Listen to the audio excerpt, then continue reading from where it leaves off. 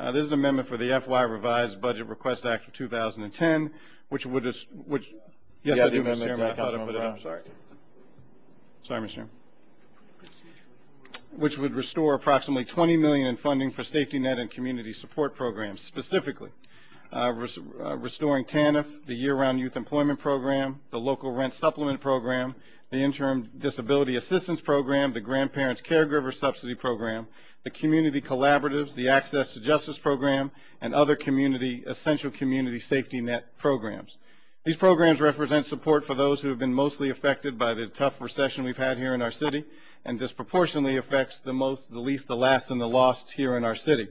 The restoration of this funding would be contingent on the passage of an amendment for FY 11 Budget Support Act, which Council Members Graham, Thomas, and I plan to introduce later today, which basically is a tax increase on our wealthiest citizens here in the District of Columbia. It would create two new high income tax brackets, a $200,000 a year at 8.9%, which is an increase of 0.4%, another for a million uh, dollars a year, at 9.2, which is an increase of 0.7%.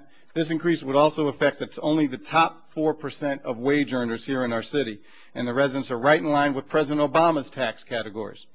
Under this proposal, our top tax rate would still be lower than several other states, including uh, folks around in our surrounding jurisdictions. Over the past three years in Prince George's County and Montgomery County uh, have also raised their, in- their income tax. It would also remain lower uh, than the DC top tax rate in 2002. One of the things I want folks to understand, Mr. Chairman, uh, so folks can understand how this would impact folks' checks, uh, let me just give you an idea. For someone making $300,000 a year, the tax increase would lead to an increased tax withholding of $15.38 from an average biweekly paycheck. Additionally, a portion of the increase would offset the fact that residents would be able to deduct those increases from their federal taxes, so roughly 30% being returned from the lower federal tax liability. So, Mr. Chairman, I clearly feel, along with my colleagues, hopefully we can restore some of these, these cuts and make sure that the folks who have been affected by the recession the most are not impacted, and frankly, that we spread the pain throughout the city.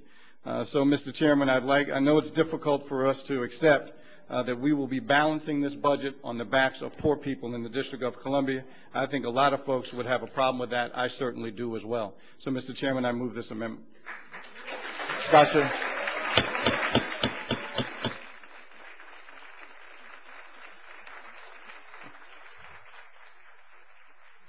And Mr. Chairman, Discussion. Mr. Chairman, I'd like, uh, if I can, if I, yes, thank you, Mr. Chairman. Mr. Chairman, uh, I am very pleased to be a co-introducer of this amendment. It proceeds on a fundamental notion that those who have the most should be helping those who have the least in our community. And the fact of the matter is that the budget we got from the mayor of the District of Columbia had 40% of its cuts aimed at low-income people, aimed at low-income programs, aimed at those who could afford it the least. Now, there isn't a member of this council who would have that as a preference, but we have a solution. And the solution is to turn to those who are still doing very well. I mean, think of this. A taxable income of a million dollars a million dollars. In other words, here's somebody whose lawyers and accountants have worked all year long to make sure that every single dollar was kept out of taxation.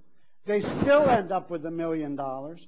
Whatever they pay to the District of Columbia, they can deduct from their federal income tax.